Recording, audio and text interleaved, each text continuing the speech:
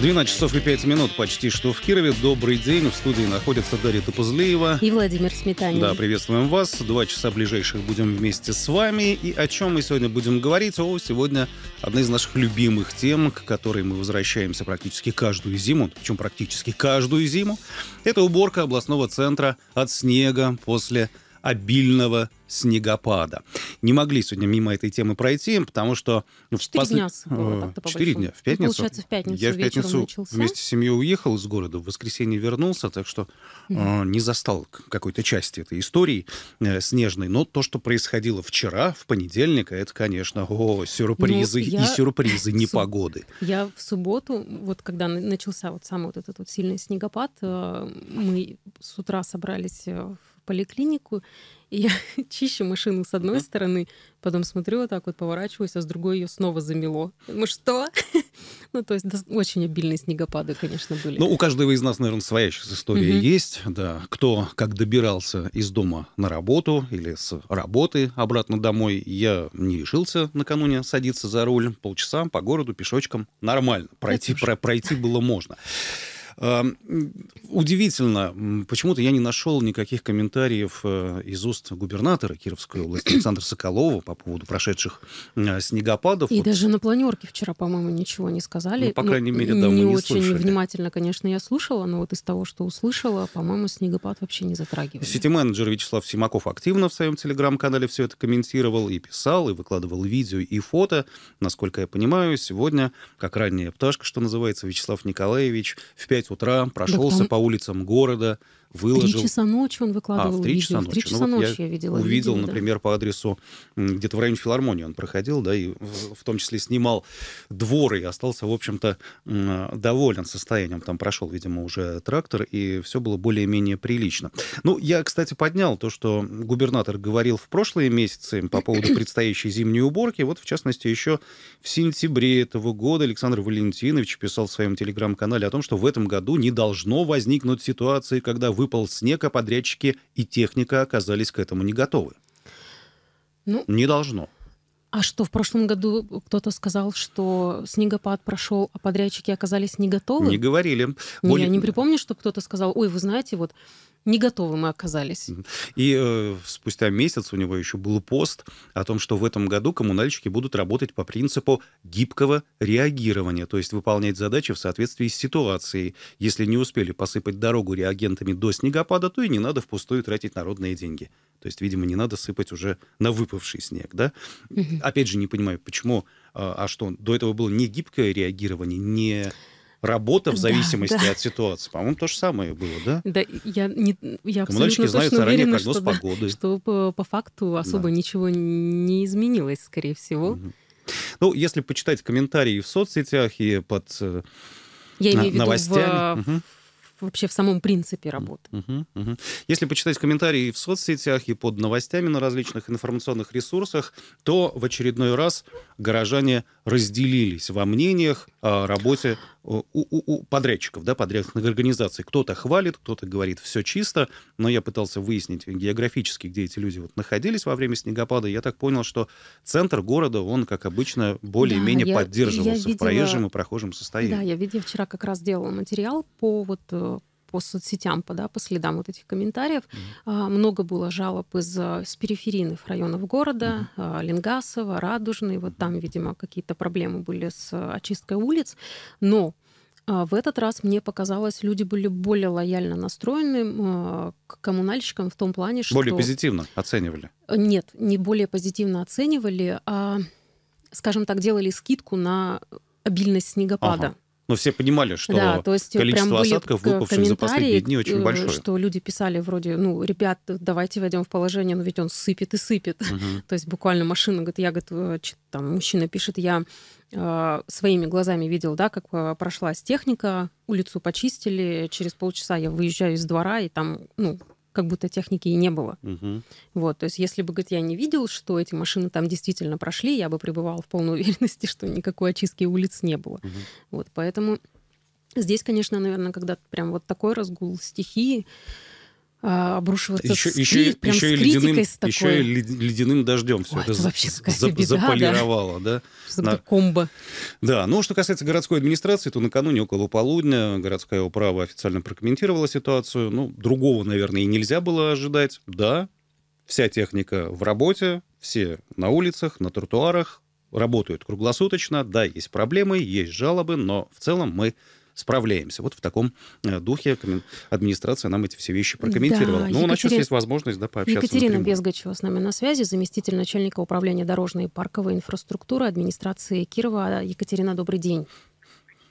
Добрый. Да, добрый день. Мы понимаем, что у вас сейчас много работы, но нам все-таки в первую очередь хотелось бы выяснить вот эту актуальную, да, оперативную обстановку, с чем сейчас конкретно занимаются подрядные организации, где они, что убирают, в- на чем сосредоточены основные силы. Расскажите, пожалуйста. Да, конечно, у нас э, все, я думаю, уже заметили, да, что был ледяной дождь, до этого у нас были продолжительные снегопады обильные мокрым таким снегом. И сейчас основная проблема, с которой столкнулись э, наш генеральный подрядчик и субподрядчики, это, конечно, обледенение. В особенности это тротуары. А, Проезжие части, конечно, сейчас не такие с ними проблемы. В основном у нас э, большинство жалоб на тротуары, на подходы к пешеходным переходам, на остановки. А, на оставшийся еще снег э, в нашей прилотковой части, который не убран, не вывезен. То есть акцент сейчас подрядчиков уже не только на проходимость э, и проезжих частей и тротуаров, но уже на ликвидацию вот этой скользкости, которая у нас получилась после вот этого ледяного дождя, который ночью закончился. И подрядчики сейчас, э, в принципе, научно-дорожной сети, мы как раз сейчас, я сама нахожусь на УДС, отслеживаем, смотрим, следим за работой, за качеством. В чем, Екатерина, заключается суть борьбы с а, скользкостью, как принято говорить, вот именно на Мгм. тротуарной части? Это посыпка реагентами. Чем обрабатывается сейчас в основном? Вот сегодня, идя по улице Горького, например, э, утром я наблюдал картину, когда, ну, обильно посыпано песочком. Мгм. Да. А, Давайте расскажу. Вот у нас э, сегодня э, конкретно вручную э, ходят мобильные бригады, прибирают. То есть и они распределяют, где-то очищают до основания, то есть это в основном на на остановках, вот как раз на посадочных площадках. То есть это как вариант, это очищать до основания, то есть до плитки, либо до асфальта. Это первый вариант. Второй, как вы и сказали уже, да, это обработка противогололедными материалами. Это у нас есть э, фрикционные, например, пескостоляная смесь и отсев дробления щебня.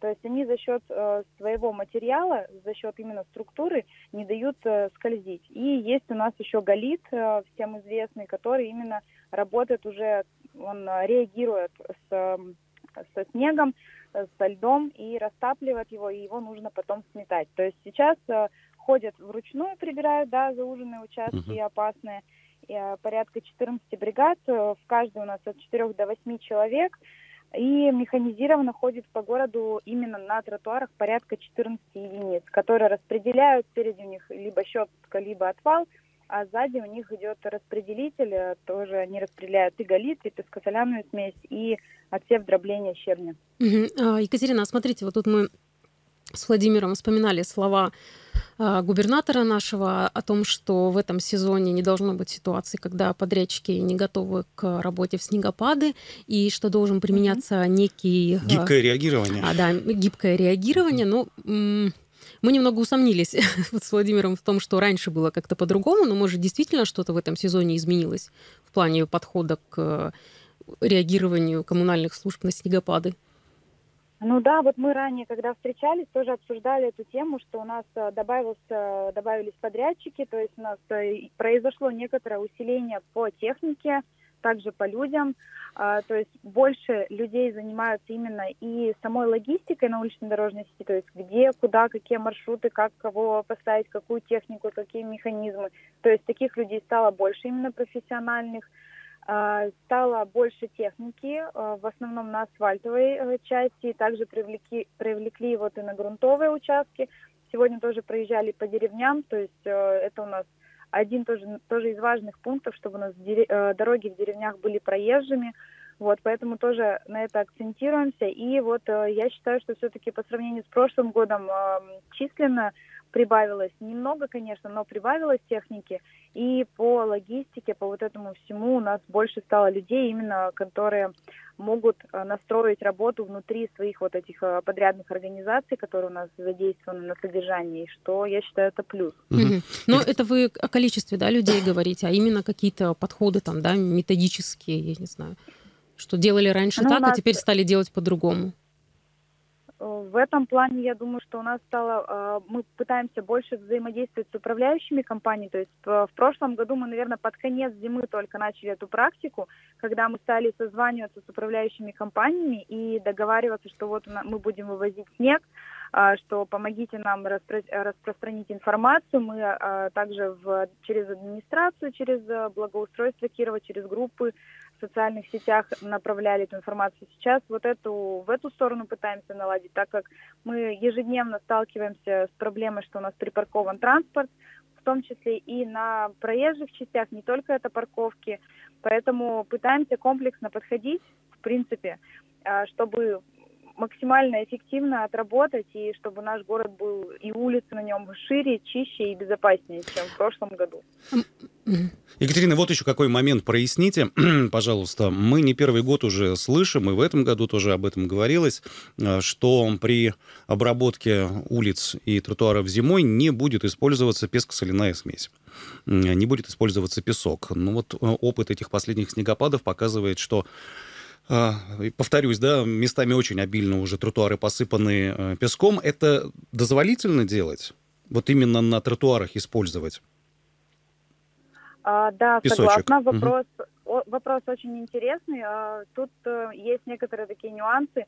А, то есть у нас галит, например, есть еще э, такие реагенты, как рассолы, например, да, они при определенных температурах действуют, то есть они работают там, допустим, до минус 5, то есть переходные на 0, э, на плюс-минус. Угу. Есть у нас галит, который работает до минус 20, дальше он, в принципе, особо не показывает какую-то эффективность в работе, и мы его дальше уже, допустим, если будут крепкие морозы, мы его не сможем уже употреблять на улично-дорожную сеть.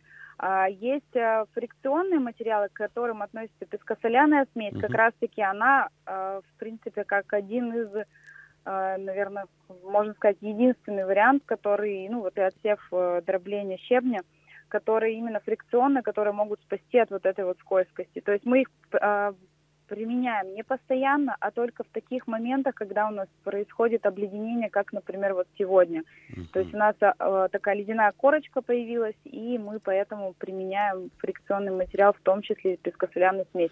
Потому uh-huh. что достаточно сильно, обильно где-то посыпано, согласна. Подрядчика, как только видим такие моменты, сегодня вот при объезде тоже зафиксировали пару таких э, инцидентов, подрядчику сразу направили, он исправляет оборудование, корректирует, потому что не везде у нас там у них электронное оборудование далеко.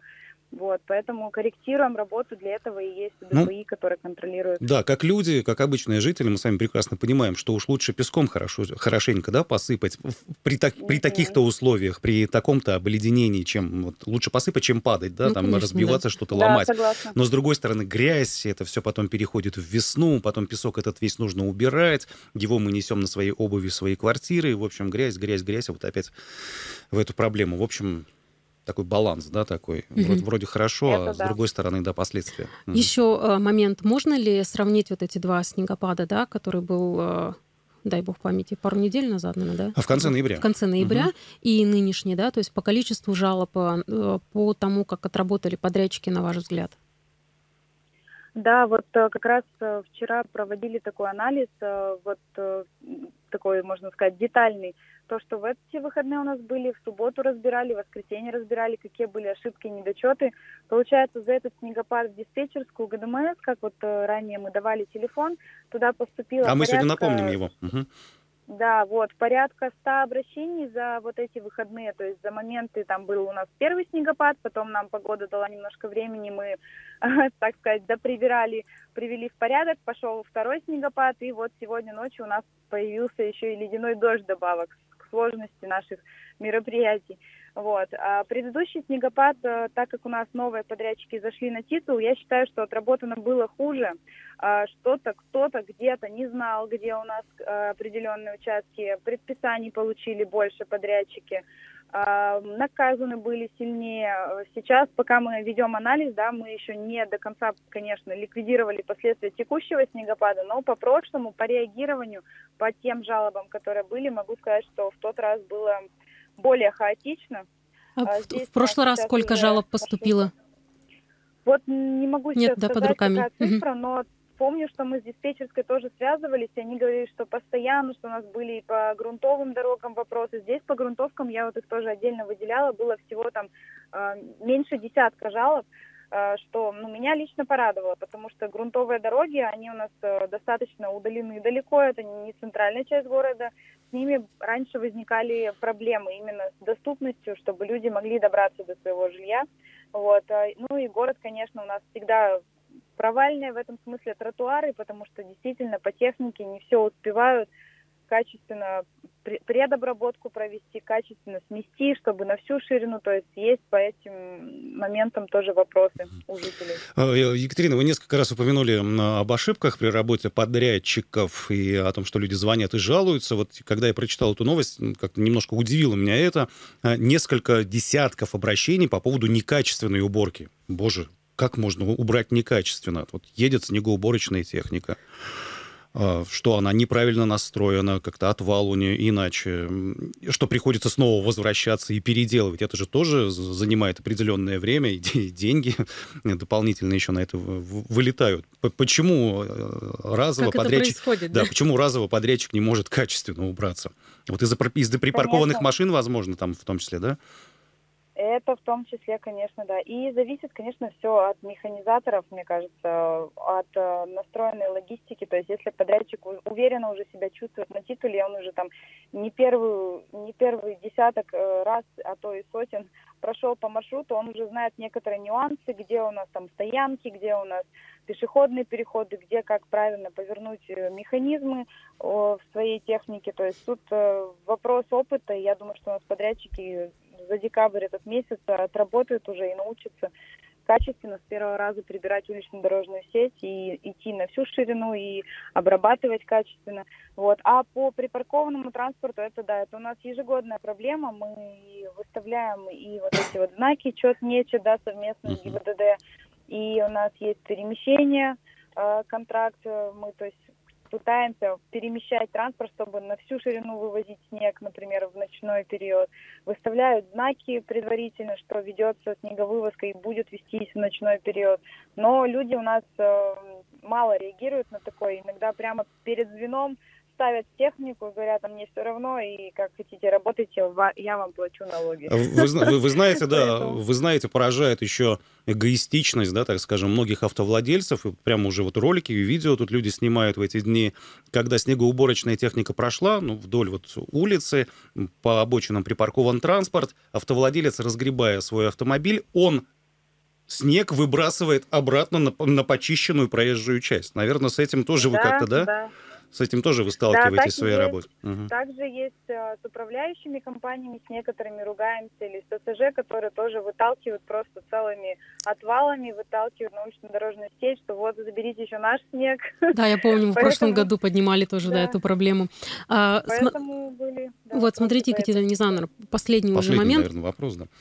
А, довелось мне вот с утра в субботу ехать по городу, ну, ранним прям утром, и даже ну, вот по центральным улицам еще не все было очищено, и видела несколько машин техники, которые вот с, с ножом, да, правильно вот эта штука называется, а, едут э, по улице, который, по которой еще явно техника не прошла, либо прошла когда-то очень давно, и вот этот нож, он поднят. Угу. Угу. Вот она, эта машина куда едет? Почему она не может нож опустить? Нужно было свистеть, опусти, я махала опусти ему, нож. Я махала ему рукой, водитель. говорю, эй, что происходит, почему? Так. Возможно, смотрите, а, у нас же есть места, а, например, есть базы у всех под, э, субподрядчиков, да, то есть они у нас, кстати, рассредоточены именно где титул, там, в принципе, у нас и подрядчик э, базируется. Но бывает так, что, допустим, а, он идет э, с пескобазы, там, где он загрузился реагентом, он идет до маршрута определенного, и там начинает именно проводить обработку, либо очистку. То есть у каждой машины есть свой путь, И если вы увидели машину, которая идет с поднятой щеткой, ножом, если она не распределяет ПГМ, не ругайте водителя. Он едет на точку, откуда он начнет качественно проводить уборку уличной дорожной сети. Не волнуйтесь. Все понятно. Спасибо и, да, большое. Еще да. один вопрос все-таки хочется задать. Екатерина, скажите, пожалуйста, если, ну, понятное дело, что у нас прогнозы снова говорят о том, что ближе к выходным э, снегопад продолжится, но вот по вашей оценке, при той интенсивности работы подрядных организаций, которые сейчас есть, э, к какому сроку город все-таки будет приведен ну, в более-менее нормальный вид после этих снегопадов? Сегодня, завтра, когда вот прям вы можете да, вот поручиться? Это хороший вопрос. Угу. Сегодня как раз э, тоже по поручению главы администрации города с этим вопросом разбирались, потому что нужен какой-то срок понимания для людей, а, когда мы можем подрядчика начинать дергать за то, что он не прибрался не во время снегопада, да, когда у него оврал, он пытается обеспечить нам безопасный проезд, проход. Вот, поэтому определили э, такой реальный срок, что после завершения осадков, то есть вот сегодня дождь там закончился, по-моему, часа в два ночи, примерно так, э, у нас есть сутки у подрядчика, мы ему даем планово поработать, мы его не дергаем никуда, и он работает именно по своим маршрутам, по обработке, по очистке, по, по своему титулу. И мы планируем, вот сегодня опять скорректировали снеговывозку, которая была ранее на три дня расписана, э, скорректировали снеговывозку и продолжаем работать. То есть сутки это минимальное время, которое подрядчик у нас прибирает город, делать его проходимым, и потом он еще в течение, ну, не знаю, дня три точно он может ходить и зачищать, э, вычищать карманы, так как опять-таки они заставлены, бывает, нужно перемещать и убирать транспорт. И на всякие, на радиусы, на треугольники видимости. То есть фронт работы огромный, работа ювелирная, у нас же еще высажены насаждения зеленые, у нас есть ограждения, у нас есть много прекрасного в нашем городе, поэтому работа ювелирная. Хорошо, спасибо большое за этот комментарий. Екатерина Безгачева угу. на связи с нами была, заместитель начальника управления дорожной и парковой инфраструктуры а, администрации города. Да, мы тут упоминали э, телефон диспетчерской службы генерального подрядчика ГДМС. Я думаю, что не бесполезно сейчас будет его напомнить. Лучше, конечно, записать, потому что номер э, моб... это, да, мобильного телефона это 8 922 967 22 34. 8 922 967 22 34. Как говорят в администрации, активно люди жалуются, звонят по этому номеру телефона. И когда мы ранее говорили, в том числе с Екатериной Безгачевой в нашей студии, э, генеральный подрядчик, если зона ответственности выясняется в ходе звонка, что это субподрядчика, то э, ГДМС им информацию передает. Ну и вот несколько десятков жалоб на этот номер телефона э, в последнее время поступили. Ну и да, надо сказать, что уже Городская управа опубликовала график вывоза снега на ближайшие дни, вплоть до середины 15 декабря. Ну, вот на сайте э, сети э, управы можно найти уже эту информацию. В частности, сегодня и завтра будут убирать путепровод на Ивана Попова, Карла Маркса, Московская, Комсомольская площадь, Дерендяева, Луганская и так далее. Э, зайдите, посмотрите. А, Константин Сичихин, я так понимаю, с нами на связи. Константин, добрый день. Да, да. Ага, руководитель, день. руководитель рабочей группы по контролю за ремонтом и содержанием дорог. Константин, всего пара минут у нас. Вот ярко, емко просим высказаться по поводу дорожной ситуации, сложившейся в последние дни в областном центре. Как вы, как руководитель группы, оцениваете работу подрядчиков? Изменилось ли что-то? Давайте с похвалы начнем, если есть за, за что похвалить. Было бы за что похвалить, начал бы с похвалы. Так, по значит, с похвалы не начнем. Годами. Угу, угу. Почему? Не меняется годами, да элементарно. Вы посмотрите, какая техника работает на наших дорогах. МТЗ, тракторы МТЗ, которые работали в 80-е годы, которые работали в 90-х, и сейчас у нас администрация говорит, что мы закупаем новую технику. Но это позорище просто-напросто, да. Да, у нас старые, более-менее КДМ, КАМАЗы работают. Но остальная эта техника, она вся э, до того, не то что даже старая, она до того уже, да и подобная, да, хотя ее до сих пор продают, что просто-напросто эта техника не вычищает наши улицы, наши дороги, наши тротуары до той степени, как это должно быть даже в любой более-менее другой город съездить, там, Нижний Новгород, Удмуртия, Ижевск, там давно уже этой техники МТЗ нету, а мы до сих пор их чистим, основные проспекты этой техникой.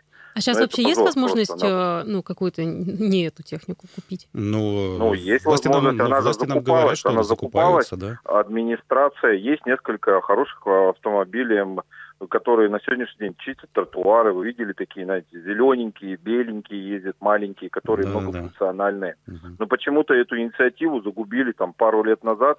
Вот последняя техника закупилась такая более современная пару лет назад, и после этого мы наблюдаем закупку опять тракторов МТЗ. А, нет, я имею в виду Щетками. даже не, не финансовый вопрос, а вопрос э, доступности физической этих транспортных средств, да, то есть вот как вот автомобили у нас с рынка постепенно начали там иностранного производства уходить, возможно, Нет, с техникой такая она, этой техники есть. Есть, да? Вся эта техника оснащается нашими, э, при, как говорится, нашими при, приборами, можно сказать. Навесным очистки, оборудованием. Как назвать. Навесное оборудование, да, это да. все российское навесное оборудование, да. Просто это надо выбирать, это надо смотреть. Вот недавно же закупили, э, помните, э, недавно был пресс-релиз администрации, они закупили, закупили на базе Аркад, или не помню, ну, не помню производителя, неплохое современное, уже более-менее современное оборудование по уборке mm-hmm. снега. Mm-hmm. Так это единственная такая установка. До сих пор мы весь снег с улиц, когда перегружаем в самосвал, убираем старой э, техникой, которой там 80-х годов. Пора а... закупать более современное оборудование, чтобы быстрее очищать наши улицы. Да, Константин, понятно, да, очень емко, очень э, содержательно. Спасибо. Спасибо, да, благодарим за комментарий. Константин Сичихин, руководитель группы по контролю за ремонтом и содержанием дорог. Первая часть программы у нас на этом завершается. Продолжим очень скоро. Еще раз добрый день, Дарья Топызлеева. Владимир Сметанин. Мы не закончили тему с уборкой города после снегопадов. Мы поговорили о проезжей части, о угу. тротуарах, но ведь еще и Дворы есть большая многострадальные задача, да, наши. Дворы эти убрать. Мы эту тему будем поднимать уже активно после 13 часов. И, надо сказать, 211-101, э, номер нашего прямого эфира, вы тоже сможете высказаться, надеюсь, если захотите, конечно, по поводу уборки вашего конкретного двора. Э, видите ли вы какие-то проблемы, меняется ли что-то с годами? В общем, пообщаемся общаться. Ну, а теперь поднимаем мы немножко другую тему, которую можно было, в частности, прочитать на сайте нашей радиостанции. А новость эту как раз Дарья, собственно, формировала. О чем речь? Что за новые контейнеры у нас должны появиться? А, к 650-летию, да, Кирова, к юбилею, как у нас обычно сейчас все делается. Накануне просто на еженедельной планерке у губернатора Алла Албегова, исполняющая обязанности министра охраны окружающей среды, рассказала о том, что а, в ближайшее время все мусорные контейнеры в городе угу. должны привести к единому стилю. То есть они должны быть одинаковой формы, одинакового цвета и выполнены из одинаковых материалов. То есть э, не будет там а, где-то а пластикового, где-то железного, они где-то не должны быть поющими какими-нибудь. Ну, не знаю. не знаю. Знаешь, это есть холодильники, да, через которые можно выйти в интернет, ну возможно, мусорные контейнеры сами будут тоже какими-то умными. Алла Викторовна у нас на связи, я так понимаю. Э, Алла да, Викторовна, да. добрый день, приветствуем вас в прямом эфире. У нас есть пять, чуть больше минут для того, чтобы пообщаться на тему закупки новых э, мусорных контейнеров. Эм, да, достаточно вот. пестрая тут картина в последнее время, если учесть, что еще у нас контейнеры активно портят. Угу. Да. Вот те цифры, которые вы вчера у губернатора озвучивали, это исчерпывающий список вот этих контейнеров, которые заменят? Или там в 2023 году еще будет какая-то работа вестись по замене? Доб, да, добрый день. Добрый Нет, день. это не исчерпывающий перечень. Э, значит, э, контейнеры будут заменены на всех муниципальных площадках. Э, я сейчас не готова озвучить точную цифру.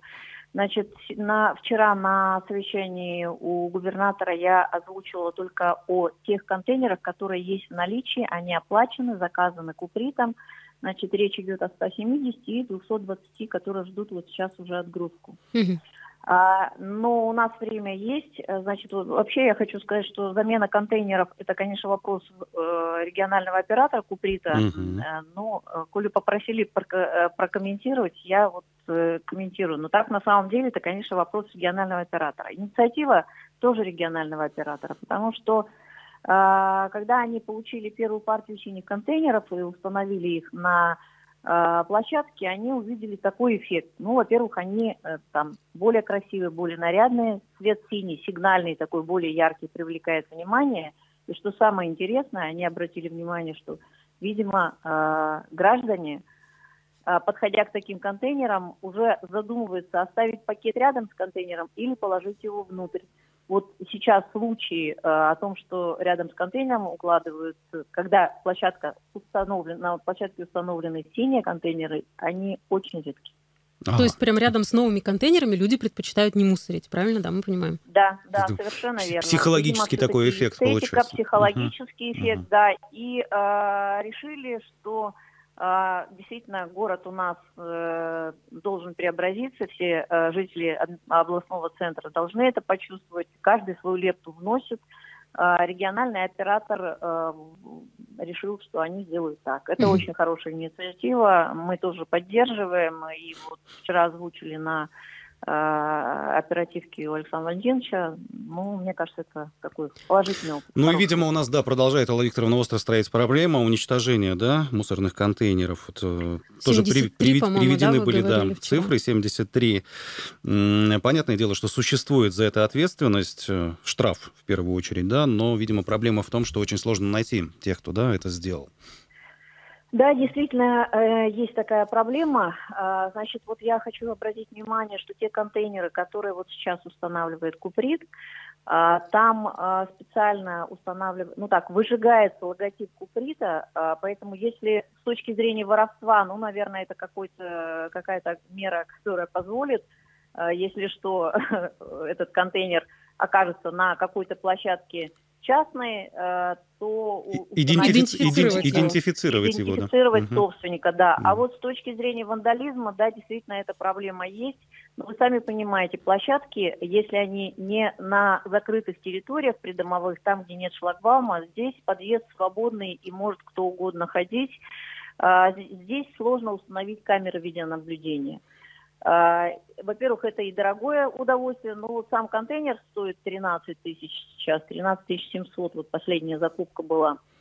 А, но видеокамера значительно а, дороже, поэтому, во-первых, вопрос, где их установить, вопрос э, второй, не получится, что и видеокамеры, когда на открытых пространствах, тоже соблазн будет. Uh-huh а, с ними поступить как-то иначе. Ну, вот пример мы ставим фотоловушки. Э, э, у нас их иногда снимают, очень жалко, несмотря на то, что мы их там э, где-то пытаемся спрятать под кроной деревьев, но вот, к сожалению, граждане иногда поступают так. Ага, Алла Викторовна, а еще момент, да, ну то есть, ну, возможно, не знаете на него ответ, но с точки зрения вообще охраны там, да, окружающей среды, вот эти контейнеры новые, которые Куприт планирует э, закупать, они в разрезе раздельного сбора отходов э, как-то фигурируют вообще? Ну, то есть или для раздельного сбора отходов все же будут какие-то другие еще контейнеры дополнительно? Ну, э, вообще, э, конечно, это контейнеры для смешанных отходов. Угу. Э, для раздельного сбора предполагаются немножко все-таки другие контейнеры, в другой цветовой гамме и в другом исполнении. И э, вот с момента, когда у нас, мы ведем мощности по сортировке, Э, у нас появляется возможность э, получить субсидии федеральные на приобретение э, контейнеров для раздельного сбора и уже масштабно, там, скажем, их установить. Вот в таком ключе Куприт разработал две типовых площадки, они уже предусматривают и контейнер под смешанные отходы, и контейнеры под раздельный сбор, и контейнер, ну и как бы и площадка под крупногабаритные отходы. Ну вот пока э, мы склоняемся к мысли, и вот в последнее время на федеральном уровне тоже слушаю многие субъекты, приходят к выводу, что надо начинать раздельный сбор с двух контейнеров, смешанные и сухие, mm-hmm. ну, грубо говоря, грязные и чистые. Mm-hmm. Поэтому в сухих, ну, по большому счету, все то, что может Э, приносить пользу, там, пластик, То, бумага, что может перерабатываться, да? Металл. Да, да, да. А, а вот все, что связано с пищевкой, ну, это такой вот контейнер, который вот вы сейчас видите, новый синий, полностью закрытый. Да. Спасибо за эти пояснения. Спасибо. Алла Албегова, исполняющая обязанности министра охраны окружающей среды Кировской области, была с нами на связи в прямом эфире. На этом первую часть э, нашей программы двухчасовой мы завершаем. Вернемся, напоминаю, с темой уборки города от снега, в первую очередь дворовых угу. территорий уже э, после 13.00, так что не прощаемся.